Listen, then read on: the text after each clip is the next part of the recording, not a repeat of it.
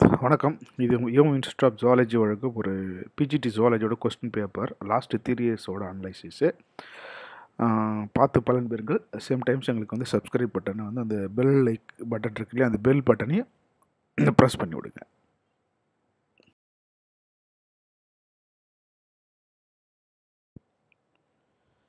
நான் வந்து லாஸ்ட் ஒரு த்ரீ இயர்ஸோட கொஸ்டின் பேப்பர் மட்டும்தான் உங்களுக்கு வந்து ஒரு அனலைசிஸ்க்காக எடுத்திருக்கேன். ஏன்னா ப்ரீவியஸ் இயர் கொஸ்டின்ஸ் பேப்பரோட டிஃப்ரெண்ட் அந்த கொஸ்டின் அவங்க எடுக்கிற மெத்தடே வந்து டோட்டலி டிஃப்ரெண்ட்டாக இருந்தது. ஏன்னா கம்பேரிட்டிவ் டூ தௌசண்ட் செவன்டீனோட லாஸ்ட்டாக நடந்த பிஜிடி ஜுவாலஜி கொஸ்டின்ஸ் பேப்பர் வந்து டோட்டலி ஒரு அனலிட்டிக்கல் ஸ்ட்ரக்சரில் எடுத்திருக்காங்க. இதுக்கு முன்னாடி இருக்கிற கொஸ்டின்ஸ் பேப்பர்ஸ் எல்லாமே மேலோட்டமாக வந்து டேரெக்டாக இருக்கிற மாதிரியும் சப் கொஸ்டின்ஸ் மட்டும்தான் உள்ளே போய்க்கு ரொம்ப இன்டென்சிவாக கேட்குற மாதிரி கொடுத்துருக்காங்க. நான் இந்த ஸ்லைட்டில் பார்த்தீங்கன்னா உங்களுக்கு வந்துட்டு பத்து யூனிட் கிளாஸிஃபை பண்ணியிருக்கேன். அதான் பைனாமியல் நாமிக்கலச்சர் அண்ட் எக்ஸாம்பிள்ஸ் அதனோட ரிலேட்டட் அனிமல்ஸும் அப்புறம் biochemistry biostatistics cell biology genetics physiology developmental biology immunology ecology evolution இதுதான் பத்து யூனிட் எல்லாமே கொடுத்துருக்குற கொஸ்டின்ஸ் இதில் நீங்கள் பார்த்தீங்கன்னா ரெண்டாயிரத்தி பதினேழில் அதிகப்படியான கொஸ்டின்ஸ் எதுலேருந்து கேட்டிருக்காங்கன்னு கேட்டிங்கன்னா பிசியாலஜியில் தான் கேட்குறாங்க. இந்த பிசியாலஜி அப்படின்றது பார்த்திங்கன்னா கான்செப்ட் வைஸ் இருக்கிறதுனால உங்களுக்கு வந்து சம்டைம்ஸ் கான்செப்ட் வைஸ் கேட்குறாங்க. அந்த பேசிக் ஸ்ட்ரக்சர் வாய்ஸும் அதிலிருந்து நமக்கு கேட்டிருக்காங்க. அப்புறம் இதுக்கு அடுத்தது பார்த்திங்கன்னா அப்புறமா ஈக்காலஜி இதுதான் ஈக்காலஜி தான். இந்த பிசியாலஜிக்கு அடுத்தபடியாக வரக்கூடிய ஒரு ரெண்டாவது சாப்டர் வந்து ஈக்காலஜி இந்த ஈக்காலஜிலையும் அப்படி தான் இந்த ஈக்காலஜி சாப்டர் வந்து நமக்கு வந்து படிக்கிறதுக்கு வந்து ஈஸியாக இருக்கும். ஒரு மாதிரி நிறைய ஹிஸ்ட்ரி படிக்கிற மாதிரி நிறைய இருக்கும். பட் நீங்களும் இதில் என்ன பண்ணலான்னா கான்செப்ட் வந்து புரிஞ்சு வச்சுக்கணும். அதுதான் இதிலேருந்து ஒரு முக்கியமான இது ஈக்காலஜி அப்புறம் அதுக்கு அடுத்தது வந்து ஜெனட்டிக்ஸும் செல் பயாலஜியும் இது ரெண்டுமே ஈக்குவல் பாயிண்ட்டு எப்பயுமே நீங்கள் படிக்கிறப்ப செல் பயாலஜியும் ஜெனட்டிக்ஸும் கம்பைன்டு பண்ணி படிச்சிங்கன்னா வந்து ஓரளவுக்கு வந்து நமக்கு வந்து அந்த கான்செப்ட் வந்து புரிகிற மாதிரி இருக்குது எப்படின்னு கேட்டிங்கன்னா இப்போ செல் பயாலஜி டிஎன்ஏ ஸ்ட்ரக்சர்லாம் இருக்குதுன்னு வைங்களேன். இது அப்படியே வந்து ஜெனட்டிக்ஸ் கொண்டு போகிறப்ப இந்த டிரான்ஸ்லேஷன் டிரான்ஸ்கிரிப்ஷன் இந்த மெத்தட்லாம் இருக்கும். அப்போ ஆட்டோமேட்டிக்காக என்ன நடக்கணும் இந்த ரெண்டு சேர்த்து நம்ம என்ன பண்ணலாம்? கம்பைன் பண்ணி படிச்சுக்கலாம். இதுதான் வந்து அந்த பதிமூணு பதிமூணு ஈக்குவலாக கேட்டிருக்காங்க. பட் நெக்ஸ்ட் இதில் அவ்வளோ பற்றி ஓரளவு மோர்லெஸ் சேமாக இருக்குது இது.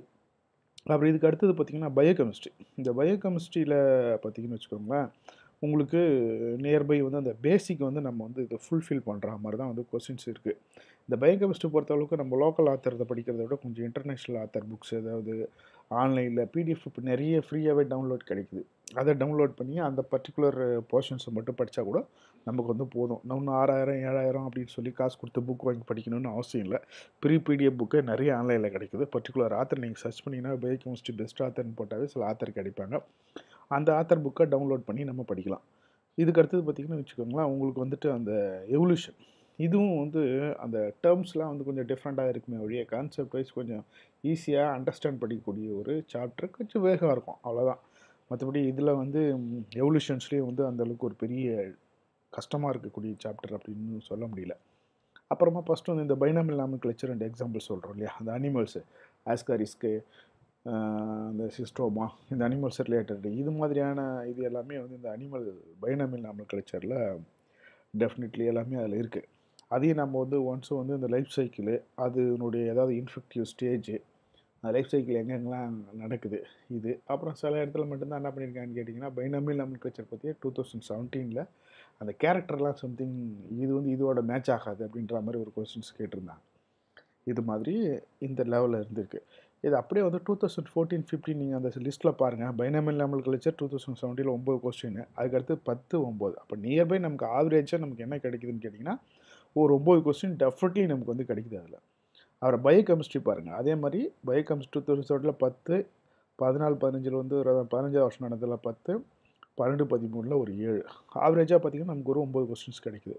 அதே வர பயோஸ்டாட்டிக்ஸ் தான் இப்போ வந்து ஒரு பெரிய ஒரு இது. பயோஸ்டாட்டிக்ஸ்னால் நம்ம ஜுவாலஜி ஸ்டூடெண்ட்ஸ் எல்லாமே வந்து ரொம்ப பயந்துறாங்க ஒன்றுமே இல்லை அந்த சிம்பிள் தான். கூட்டி கழிச்சு போடுறது தான் அதில் வந்து அந்த ஃபார்முலா நம்ம வந்து ஞாபகம் வச்சுக்கணும். மீன் மீடியன் மோடு அவ்வளோதான் நீங்கள் அதை எடுத்து இன்டென்சிவாக பார்த்துட்டிங்கன்னு வச்சுக்கோங்களேன் ஒன்றும் நமக்கு வந்து மேக்ஸ் வந்து ஒரு பெரிய இந்த மேக்ஸ்லாம் அதில் வந்து கேட்க போகிறதில்ல நமக்கு. அதில் என்ன கேட்குறாங்கன்னு கேட்டிங்கன்னா ஆவரேஜ் தான் மோஸ்ட்லி அந்த ஃபார்முலா தான் மட்டும் அப்படி இப்படி இருக்குமே ஒழிய அந்த ஃபார்முலா மட்டும் நான் ஞாபகம் வச்சுட்டு ஒரு ரெண்டு ரெண்டு சம் சும்மா ஒர்க் அவுட் பண்ணி பாருங்கள் ஏதாவது ஒரு ஆன்லைனில் பயோஸ்டாட்டிக்ஸ் புக் வாங்கி மீன் மீடியன் மோடு இல்லை எம்பிஏ புக்கு ஏதாவது யாராவது வச்சுருந்தாங்கன்னா அதில் இருக்கக்கூடிய சும்மா சிம்பிள் சம் அவ்வளோதான் சும்மா ஒரு நாலஞ்சு லைன் தான் வரும். இது வந்து பயோஸ்டாட்டிக்ஸ் கஷ்டம் கஷ்டம் அப்படின்னு இருந்தால் விட்டுட்டோம்னா அதில் வந்து ஒரு பத்து டு பத்து மார்க் பாருங்கள் ஆவரேஜாக ரெண்டாயிரத்தி பதினேழில் பதினொன்று பதினாலு பதினஞ்சில் பத்து அதுக்கு அடுத்தது பத்து. மொத்தம் பத்து மார்க் அதில் வந்து நமக்கு விட்டு போயிடுது. இந்த புக்கு வந்து நம்ம even plus one plus two statistics book இருக்கும். அதில் கூட நம்ம வந்து பார்க்கலாம். அந்த மீன் மீடியன் மூடு என்ன சாப்டர் கொடுத்துருக்காங்களா அப்படி. அப்படி இல்லைன்னா இக்னோவில் வந்துட்டு e ஈஜியான் அப்படின்னு அந்த வெப்சைட் இருக்குது அந்த வெப்சைட்டில் கூட நீங்கள் பார்க்கலாம். அதுலேருந்து நிறைய பயோஸ்டெட்டிக்ஸ் புக்கே இருக்குது அது இருக்கிற செம்ம கூட ஒர்க் அவுட் பண்ணால் கூட போதும். அதுக்கடுத்து செல் பயாலஜி பாருங்கள் இதுக்கும் ஆவரேஜாக பதிமூணு கொஸ்டின்ஸ் டெஃபினெட்லி வருது. ஃபஸ்ட்டு பிசியாலஜி செகண்ட் வந்து செல் பயாலஜிக்கு வந்து நம்ம வந்து தேர்ட் வந்து செல் பயாலஜிக்கு நம்ம இம்பார்ட்டன்ஸ் கொடுத்தே தரணும். ஏன்னா பாருங்கள் பதிமூணு பன்னெண்டு பதிமூணு அந்த ரேஞ்சுக்கு வருது பதிமூணு. நெக்ஸ்ட் ஜெனட்டிக்ஸ் இதுவும் வந்து அந்த same method equal weightage for cell biology and genetics அதான் நான் முன்னாடி சொன்ன மாதிரி செல் பயாலஜியும் ஜெனட்டிக்ஸும் ரெண்டு சேர்த்து படிங்க அப்போ தான் நமக்கு வந்து ஒரு நல்ல ஒரு கான்செப்ட்டு நல்ல அண்டர்ஸ்டாண்டிங் கிடைக்கும். அப்புறம் பிசியாலஜி ஆல்ரெடி சொல்கிற மாதிரி இதுதான் டாப் மோஸ்ட் இருக்கக்கூடிய கொஸ்டின்ஸ் வரக்கூடிய ஏரியா பதினேழு பதினாலு இருபது பாருங்கள் ரெண்டாயிரத்தி பன்னெண்டு பதிமூணு இருபது கொஸ்டின்ஸ் அதில் வந்து கேட்டிருக்கா. நமக்கு ஆவரேஜாக பதினேழு கொஸ்டின்ஸ் டெஃபினெட்லி இதுலேருந்து வரும். இதுலேருந்து நீங்கள் ஒரு பதினஞ்சு கொஸ்டின்ஸ் கரெக்டாக அடிக்கிற மாதிரி படித்தா தான் நீங்கள் வந்து ஸ்கோர்ஸ் வந்து இன்க்ரீஸ் பண்ண முடியும். அப்புறம் டெவலப்மெண்டல் பயாலஜி பாருங்கள் இது வந்து அந்த ரேஷியோஸ் வந்து அப்பப்பையும் ஏறி இறங்கியிருக்கு. லாஸ்ட் டைம் வந்து வந்து அந்தளவுக்கு அதில் கொடுக்கல ரெண்டாயிரத்தி பதினேழில். ஆனால் கொஞ்சம் வந்து டெப்த் அதிகமாக இருக்கக்கூடிய கொஞ்சம் உள்ள இன்டென்சிவாக போனோன்னா இதுலேருந்து நம்மளால் பதில் சொல்கிறது கொஞ்சம் கஷ்டமாக இருக்கக்கூடிய ஒரு சாப்டர் நான் நினைக்கிறேன். அதில் பாருங்கள் அஞ்சு பத்து ஒம்பது ஆவரேஜாக எட்டு கொஸ்டின்ஸ் கொடுத்துருக்கான் பாருங்கள் அப்புறம் இம்னாலஜி இந்த இம்னாலஜின்றது பார்த்திங்கன்னா ஆவரேஜாக நமக்கு கொஞ்சமாக தான் சிலபஸ் இருக்கும். பட் கொஞ்சம் நல்ல இந்த குபி அப்படின்னு இம்னாலஜி புக் ஒன்று இருக்குது ஆன்லைனில் கூட குபின்னு. அதுதான் நம்பர் ஒன் புக்கு ஐஏஎஸ்க்கு கூட அந்த புக் தான் யூஸ் பண்ணுறாங்க அதை வந்து டவுன்லோட் பண்ணிக்கிட்டு அதுலேருந்து படிக்க ஆரம்பிங்க. படிக்க ஆரம்பிச்சிங்கனாவே அதில் வந்து நல்லாயிருக்கும் பாருங்கள் சிக்ஸு எயிட்டு எயிட்டு அப்போ ஆவரேஜாக நமக்கு வந்து ஒரு செவன் மார்க்ஸ் அதுலேருந்து கிடைக்கும். அப்புறம் ஈக்காலஜி அது நம்ம ஆல்ரெடி சொன்னது தான் எப்படின்னு கேட்டிங்கன்னா நம்பர் டூ பொசிஷனில் இருக்கக்கூடிய ஒரு ஏரியா அப்போ பதினஞ்சு பதினொன்று பதிமூணு. மொத்தம் ஆவரேஜாக பதிமூணு கொஸ்டின்ஸ் அதுலேருந்து வரக்கூடிய சான்சஸ் இருக்குது ஈஸியான கான்செப்ட் லாஸ்ட்டில் இருக்கிறதுனால நிறைய பேர் அதை வந்து என்ன பண்ணுறதுனா கவர் பண்ணுறதில்ல நீங்கள் முதல்ல என்ன பண்ணுங்கன்னா எடுங்க. புக்கை சிலபஸ் எடுத்துகிட்டு எது எதெல்லாம் நமக்கு வந்து அவைலபிள் இருக்கோ சோர்ஸஸ் வேக வேகமாக அவைலபிள் இருக்கோ லோக்கல் ஆத்தரோ இல்லை நீங்கள் வச்சிருக்கிற புக்குலேயே அதை வந்து முதல்ல கம்ப்ளீட் பண்ணுங்கள் சிலபஸில் அதை ரிவிஷன் பண்ணலாம். அப்புறம் எவல்யூஷன் எவல்யூஷன்லையும் பாருங்கள் என்னோடய வேரியேஷன் மாறுது இன்க்ரீஸ் ஆகிட்டே வருது. பதினொன்று பத்து ஆறுன்னு சொல்லிட்டு. ஓகே இதுவும் லாஸ்ட்டில் இருக்கும் நிறைய பேர் விட்டுருவாங்க. ஆவரேஜாக பார்த்தீங்கன்னா ஒம்பது கொஸ்டின்ஸு இப்போ இந்த ஆவரேஜில் பாருங்கள் எது இதெல்லாம் நம்ம முதல்ல படிக்கணும் எது செகண்ட் படிக்கணும் நீங்களே முடிவு பண்ணிப்பீங்க பாருங்கள் பிசாலஜியில் ஒரு பதினேழு மார்க் வருது. அப்போ நம்பர் ஒன் அவங்க தான். அதுக்கு அடுத்தோடனே ஜெனட்டிக்ஸு பதினாலு நம்பர் டூ அப்புறம் செல் பயாலஜி நம்பர் த்ரீ அப்புறம் அதே செல் பயாலஜிக்கு ஈக்குவலாக ஈக்காலஜி நம்பர் ஃபோரு அப்புறம் இது பயோஸ்டாட்டிஸ்டிக்ஸ்லேயே பாருங்கள் உங்களுக்கு. கிட்டத்தட்ட பத்து மார்க் வந்துடுது ஃபைவு அப்புறம் பயோகெமிஸ்ட்ரியும் நாமனுக்குலச்சரும் ஈக்குவலாக வருது பாருங்கள் அப்போ ரெண்டுமே நம்பர் சிக்ஸு அப்புறம் அதுக்கடுத்து நமக்கு வந்து டெவலப்மெண்டல் பயாலஜி செவனு அப்புறம் இம்னாலஜி எயிட்டு ஓகே அப்போ ரிமைனிங் ரெண்டு ரெண்டு சாப்டர் சேர்ந்து வந்தோம்னா ரெண்டு சாப்டர் அதில் ஆட் ஆகிடுச்சு அப்போ இந்த வருஷ பிரகாரம் நமக்கு வந்து அது வந்து இம்பார்ட்டன்ஸ் கொடுத்து நம்ம படித்தோம்னா ஆட்டோமேட்டிக்காக நமக்கு என்ன பண்ணணும்னு கேட்குறப்ப எக்ஸாம்ஸில் அந்த ஒன் டென் மார்க்ஸு நீங்கள் லாஸ்ட்டு கட்டாப்பே நமக்கு எயிட்டி டு எயிட்டி ஃபைவ் தான். லாஸ்ட்டு கட்டாப் இருந்தது சில பேருக்கு. அப்போ நீங்கள் வந்து எஜுகேஷனை டச் பண்ணாதவே வந்து ஒரு eighty five to ninety mark வாங்கிட்டீங்க அப்படின்னு சொன்னால் ஆட்டோமேட்டிக்காக இதில் வந்து செலக்ட் ஆகிடலாம் போன கொஸ்டின்ஸ் பேப்பர்லாம் பார்த்தீங்கன்னா ரெண்டாயிரத்தி பதினேழில் உங்களுக்கு எல்லாமே வந்து டேரக்ட் கொஸ்டின்ஸ் இல்லை. எல்லாமே அனாலிட்டிக்கல் கொஸ்டின்ஸ் தான். இது மேட்ச் ஆகலை அது மேட்ச் ஆகலை. ஈவன் வந்து விட்டமின்ஸ்லாம் முன்னாடி நம்ம என்ன பார்த்துருப்போம்னா விட்டமின்ஸ் என்ன என்ன அதோட ஃபங்க்ஷன் என்ன அதனோட டிசீசஸ் என்ன வரும்னு கேட்டிருப்பாங்க. அதோட ஸ்ட்ரக்சர் பற்றிலாம் யாரும் வந்து அந்த அளவுக்கு படிச்சுட்டு போயிருக்க மாட்டாங்க. பார்த்தீங்கன்னா லாஸ்ட் டைம் வந்து ஒரு விட்டமினோட ஸ்ட்ரக்சரை கொடுத்து அந்த விட்டமின் என்னன்னு கேட்டாங்க டப்புன்னு.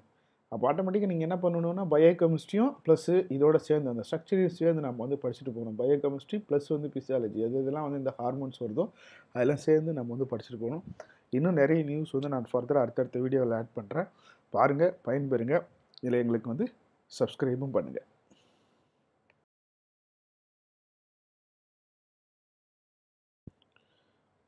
இதையும் தேங்க்யூ பார்த்ததுக்கு நன்றி. சப்ஸ்கிரைப் பண்ணுங்கள் இன்னும் ஃபர்தராக அடுத்த வீடியோவில் சந்திப்போம்.